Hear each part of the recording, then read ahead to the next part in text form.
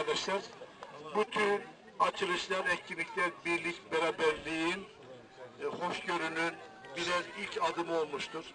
Bundan sonra biz de Milli Eğitim Müdürlüğü olarak bize düşen görevi mutlaka üstleneceğiz. Sizin bir bize bir emirdir. Koşarak ekibimle birlikte burada olacağız. Şimdiden hayırlı olmasını diliyorum. Arkadaşlar biz oturalım.